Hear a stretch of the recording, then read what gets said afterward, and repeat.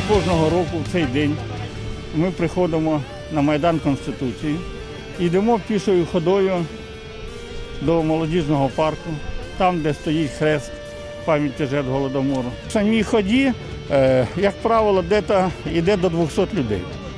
Е, Частина людей вже ну таких, знаєте, у віці, їм йти важко. Вони приходять до Христа у молодіжний парк. Всі збираються, проходить панахида, от з нами Київський патріархат. Люди приходять, люди пам'ятають.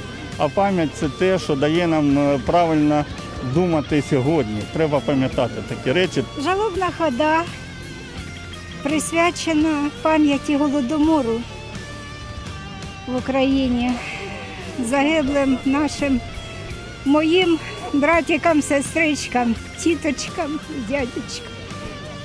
Ну, сегодня мы здесь собрались, чтобы почтить память жертв Голодомора.